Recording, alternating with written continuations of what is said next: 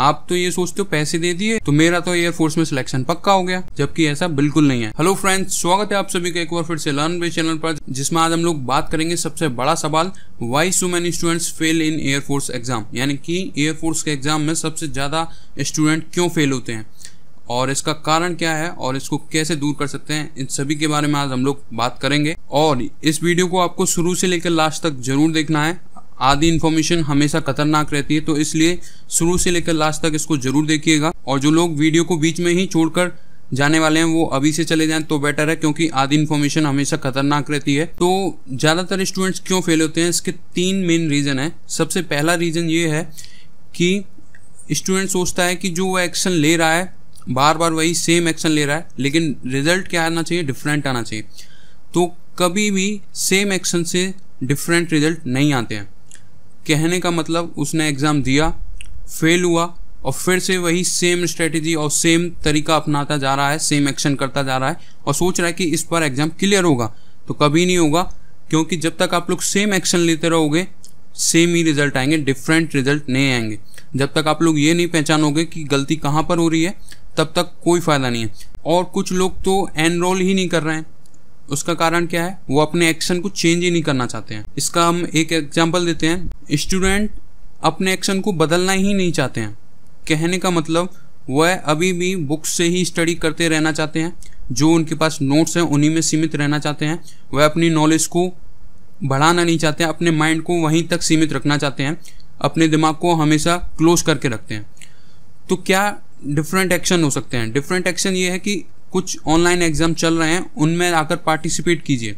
वहाँ से अपने प्रिपरेशन का पता लगाइए कि किस लेवल पर आपकी प्रिपरेशन चल रही है। और जो लर्न में ऑनलाइन एग्ज़ाम की टेस्ट सीरीज़ चल रही है, उसमें सबसे बुरी बात यह है कि स्टूडेंट्स एनरोल ही नहीं करते हैं। और स्टूडेंट्स अपने एक्शन को बदलना भी नहीं चाहते हैं। कहने का मतलब एनरोलिंग वाली वीडियोस को काफ़ी लोगों ने देखा, लेकिन एनरोल कितनों ने किया? सिर्फ़ 800 स्टूडेंट्स ने। और उसमें से भी एग्ज़ाम के लिए कितने एनरोल करते हैं? सिर्फ़ 250 हम मानते हैं कुछ प्रॉब्लम्स आती हैं, लेकिन उसको आप लोग दूर कर सकते हैं। जैसे कुछ स्टूडेंट्स हैं जो दूर करते हैं। हम मानते हैं कि कुछ टेक्निकल इश्यूज़ आते हैं, कुछ प्रॉब्लम आती हैं, लेकिन लेकिन आप में से कुछ लोगों ने रिजॉल्व किए, लेकिन कुछ स्टूडेंट्स थे जिनको बार बार मैसेज जाने के बाद भी वह रिजॉल्व नहीं किए। जैसे ही एग्ज़ाम स्टार्ट हुआ, एक संग टूट पड़े कि, सर एग्ज़ाम नहीं हो पा रहा है नो रिकॉर्ड फाउंड या प्रीवियस एग्ज़ाम में ही है। जबकि हमने कई बार बोला, जब तक आप लोग इंस्ट्रक्शंस नहीं पढ़ पा रहे हो, तब तक कुछ भी सही नहीं है। अगर आप लोग इंस्ट्रक्शंस पढ़ पा रहे हो तो सब कुछ ठीक है। लेकिन एंड में जब एग्ज़ाम स्टार्ट हो गया, उसके बाद मैसेज कर रहे हैं। तो आपको अपना एक्शन बदलना होगा, जिससे कि डिफरेंट रिज़ल्ट आ सके। आपने जो अभी तक तैयारी की है, उसको टेस्ट करने का समय आ गया है। तो ज़्यादा से ज़्यादा लोग एनरोल कीजिए रजिस्टर कीजिए, सब कुछ है। ट्यूटोरियल हमने आपके लिए पहले बना रखे हैं registration tutorial enrolling full process video लेकिन ऐसा लगता है कि वीडियोस तो सिर्फ़ हम अपने लिए बनाते हैं।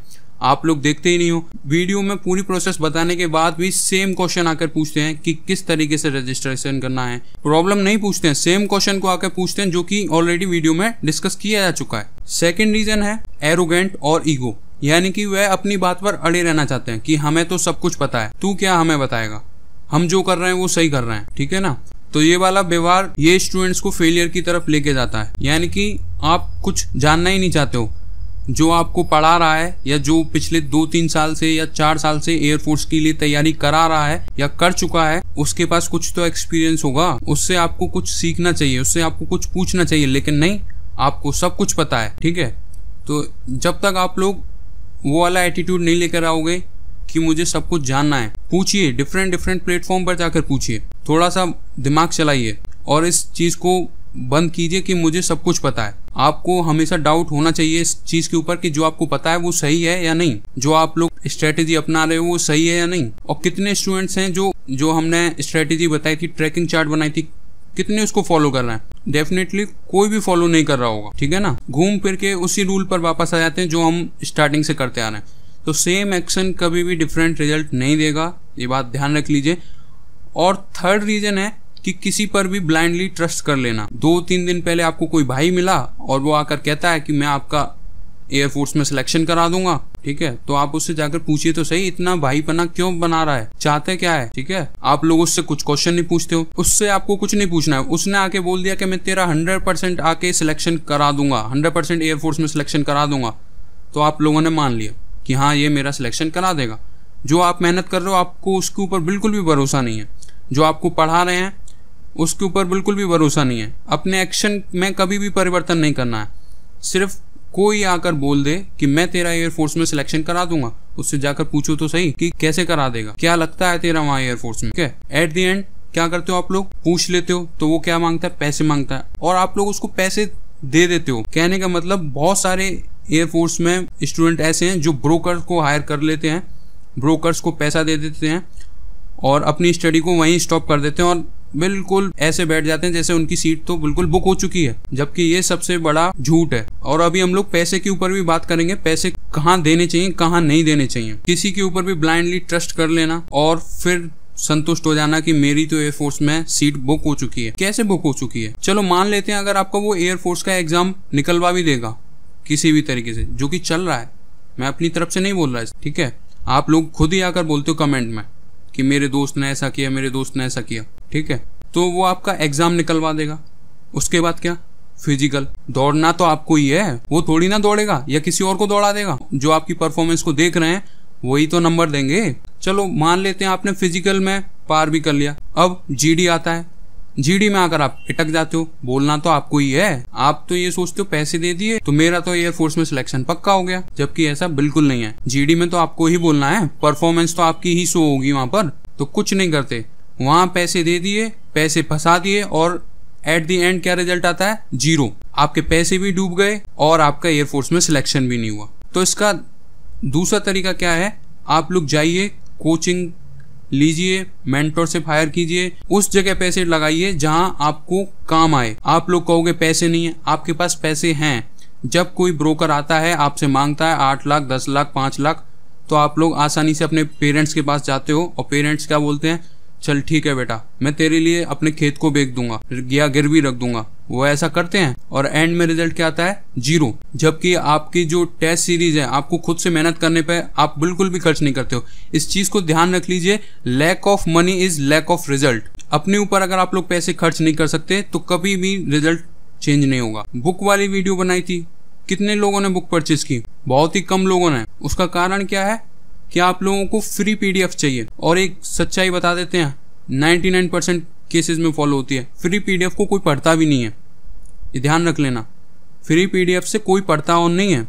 यानी कि अगर आपको दे दी जाए ना बुक्स की पीडीएफ जो कि इलीगल तरीका है, आप लोग उनको यूज़ नहीं करोगे। इतना चट्टा आपके मोबाइल में अभी भी लगा हुआ होगा उन पीडीएफ्स का, पर आप उन्हें पढ़ नहीं रहे हो। क्यों? क्योंकि आपके पास इतना सारा डाटा आ गया है, आप खुद ही कंफ्यूज हो गए क्या पढ़ना है, क्या नहीं पढ़ना है। अपने ऊपर पैसा खर्च करना बहुत ज़रूरी है। जब तक आप लोग उस पर पैसे नहीं देते हो, तब तक आप लोग अटेंशन पे नहीं करते हो। जैसे कि हमारे एग्ज़ाम में ही हो रहा है फ्री एग्ज़ाम है, कोई आता है, मन में है तो देता है, नहीं है तो नहीं देता। दूस, और दूसरी चीज़ 25 क्वेश्चन के 25 क्वेश्चन अटेम्प्ट करते हैं और मार्क्स कितने आते हैं? तीन, साढ़े तीन। उसका कारण क्या है? आए एग्ज़ाम में एंटर हुए, जल्दी से सारे क्वेश्चन अटेम्प्ट किए और चल दिए। भाई, मेरी तो अटेंडेंस लग गई।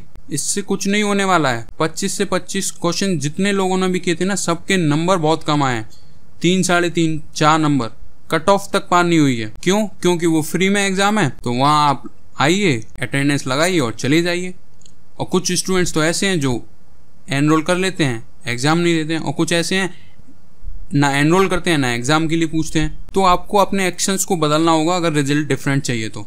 जब तक आप लोग इम्प्लीमेंट नहीं करोगे रिज़ल्ट में कोई भी परिवर्तन नहीं आएगा। तो ब्लाइंडली ट्रस्ट करना बंद कीजिए, उससे सवाल पूछिए अपने ईगे को सुधारिए एरोगेंट मत बनिए और अपने एक्शंस को चेंज कीजिए। और जब तक आप लोग पैसे की कमी को सामने रखोगे अपने आगे, पैसे को ज़्यादा महत्व दोगे, तब तक आपके रिजल्ट्स कभी इम्प्रूव नहीं होने वाले। ये ध्यान रख लीजिए। और अब हम लोग बात करेंगे कट ऑफ़ इतनी कम क्यों होती है?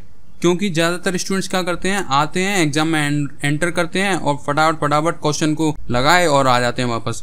अगर हम किसी भी एसएससी के एग्ज़ाम से कंपेयर करें एसएससी सीजीएल एसएससी सीएचएसएल से ही अगर हम लोग कंपेयर करें तो उसकी कट ऑफ़ पता है कितनी आती है? 180 170 जो कि कितनी है मालूम है? नाइन्टी परसेंट के आसपास है। दो दो सौ मार्क्स का एग्ज़ाम होता है और उसमें से अगर 180 की जनरल कैटेगरी की बात कर रहे हैं, अगर यहाँ पर कट ऑफ़ जाती है तो 90 परसेंट हो गया ये, ठीक है?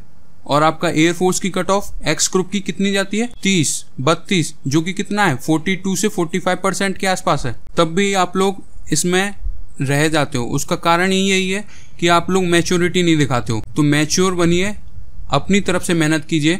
42 परसेंट कोई ज़्यादा नंबर नहीं है। 30 नंबर 32 नंबर बहुत कम नंबर हैं। आपको एक अच्छे नंबर सिक्योर करना है और उसके लिए क्या करना होगा? अपने एक्शन को बदलना होगा। और कितना टाइम आप लोगों को मिल चुका है, लेकिन आपके रिज़ल्ट अभी भी वही आ रहे हैं।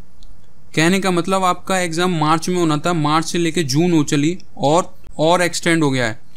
तब भी आप लोगों का सिलेबस कंप्लीट नहीं हो रहा है। अब तक तो आपका सिलेबस कंप्लीट हो जाना चाहिए।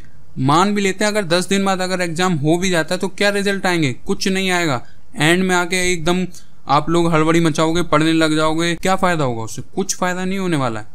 एग्ज़ाम में जाके सीधे उगल दोगे। कोई पता नहीं है कि वह सही ऑप्शन आपने टिक किया या नहीं है। एग्ज़ाम हमेशा दिमाग खोल कर दोगे, तभी सही होगा। ये नहीं है कि दिमाग में भर लिया, सब कुछ भर लिया। किसी भी एग्ज़ाम की प्रिपरेशन कर रहे हो और जो स्टूडेंट्स एक्स वाई दोनों की प्रिपरेशन कर रहे हैं ना, वो अभी भी बहुत बड़ी गलती कर रहे हैं। हमने जो गाइडेंस वीडियो में आपको बताया था और स्ट्रेटेजी वीडियो बताई थी, वो आप में से कई लोगों ने देखी, लेकिन उसको इम्प्लीमेंट नहीं किया तो जब तक आप लोग इम्प्लीमेंट नहीं करोगे, जब तक कोई भी रिज़ल्ट चेंज नहीं होने वाला है आई होप आप लोगों ने वीडियो को यहाँ तक देखा होगा और जिनको लग रहा है कि हमने जो बात कही है, वो सच है तो प्लीज़ कमेंट करके ज़रूर बताइएगा।